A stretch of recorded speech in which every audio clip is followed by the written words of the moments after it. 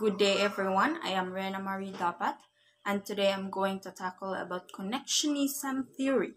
But first, let's talk about who is Edward L. Thorndike. Edward Lee Thorndike is an American pioneer in comparative psychology, was born in Lowell, Massachusetts in 1874 to the family of a Methodist minister. He became interested in the field of psychology after reading William James' Principles of Psychology, and after graduating from Wesleyan University, he enrolled at Harvard in order to study under James. He was born on August 31, 1874 in Williamsburg, Massachusetts, and died on August 9, 1949. He completed his Doctor of Psychology in 1898 in Columbia University. He was awarded the doctorate for his thesis, Animal Intelligence, an experimental study of the associative process in animals, in which he concluded that the experimental approach is the only way to understand learning and establish his famous law of effect. Now let's talk about connectionism theory. Connectionism theory is the learning theory of Thorndike, represents the original S&R framework of behavioral psychology. Learning is the result of associations forming between stimuli and responses. Such associations or habits become strengthened or weakened by the nature and frequency of the S and R pairings. The paradigm for S and R theory was trial and error learning in which certain responses come to dominate others due to rewards. The hallmark of connectionism, like all behavioral theory, was that learning could be adequately explained without referring to any unobservable internal states. To understand this, let's look at a simple example. Imagine a person tells you to define the concept of a kettle. When you hear the word, the set of neurons associated with it active automatically in your brain. The activation of this group of neurons spreads to others it's connected to. This may include neural patterns related to the words tea, coffee, or boil, leading you to define a kettle as a device that boils water to make tea and coffee. In Thorndike's view, Learning is the process of forming associations or bonds, which he defined as the connections of a certain act with a certain situation and resultant pleasure. His work leading up to 1898 provided the beginning of an exact estimate of just what associations, simple and compound, an animal can form, how quickly he forms them, and how long he retains them. Thorndike's theory consists of three primary laws. The first law is the law of readiness.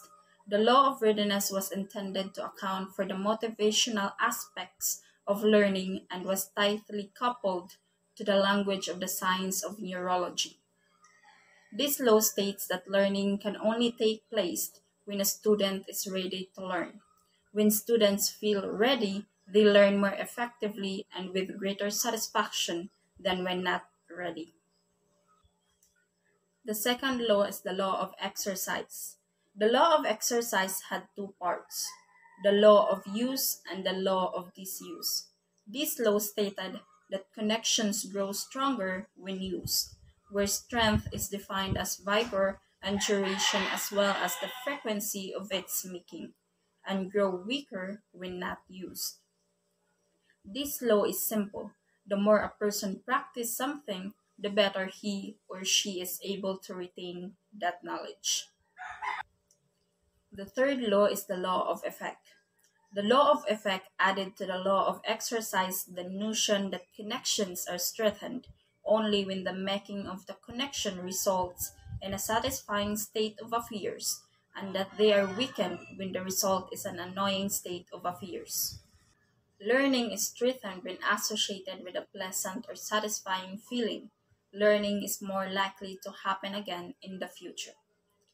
Learning is weakened when associated with an unpleasant feeling, become less likely for learning to occur again in the future. Learners will try to avoid it.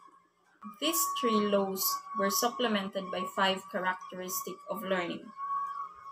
First is multiple response or varied reaction. When faced with a problem, an animal will try one response after another until it finds success. Second is set or attitude. The responses that an animal will try and the results that it will find satisfying depend largely on the animal's attitude or state at the time. Third is partial activity or prepotency of elements. Certain features of a situation may be prepotent in determining a response than others, and an animal is able to attend to critical elements and ignore less important ones. This ability to attend to parts of a situation makes possible response by analogy and learning through insight. The third one is the assimilation. Due to the assimilation of analogies between two stimuli, an animal will respond to a novel stimulus in the way it has previously responded to a similar stimulus. In Thorndike's words, to any situations which have no spatial original or acquired response of their own, the response made will be that which by original or acquired nature is connected with some situation which they resembled. The fifth one is the associative shifting. Associative shifting refers to the transfer of a response evoked by a given stimulus to an entirely different stimulus. 16 years after publishing his theory in the Educational Psychology series based on experiments with animals, Thorndike published 12 lectures that reported on experiments performed with human subjects between 1927 and 1930. The results of these experiments lead Thorndike to make some modifications to his law of connectionism. The first change was to qualify the law of exercise. It was shown that the law of exercise in and of itself does not cause learning, but is dependent upon the law of effect. The second change was to recast the relative importance of reward and punishment under the law of effect. Through a variety of experiments, Thorndike concluded that satisfiers and annoyers are not equal in their power to strengthen or weaken a connection, respectively. In addition of these two major changes to the law of exercise and the law of effect, Thorndike also began to explore four other factors of learning that might be viewed as precursors to cognitive learning research, which emerged in the decades that followed. They are summarized by Bower and Hilgard in 1981. First is the belongingness. A connection between two units or ideas is more readily established if the subject perceives the two as belonging or going together. Second is the associative polarity. Connections act more easily in the direction in which they were formed than in the opposite direction. For example, if when learning German vocabulary, a person always tests themselves in the German to English direction, it is more difficult for them to give the German equivalent when prompted with an English word than to give the English word when prompted with a German equivalent. The third one is the stimulus Identifiability.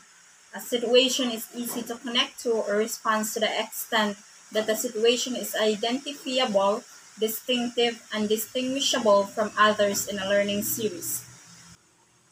The fourth one is the response availability. The ease of forming connection is directly proportional to the ease with which the response required by the situation is summoned or executed the principles of connectionism theory. First, learning requires both practice and rewards. Second, a series of S and R connections can be chained together if they belong to the same action sequence. Third, Transfer of learning occurs because of previously encountered situations. Fourth, intelligence is a function of the number of connections learned. That would be all. Thank you.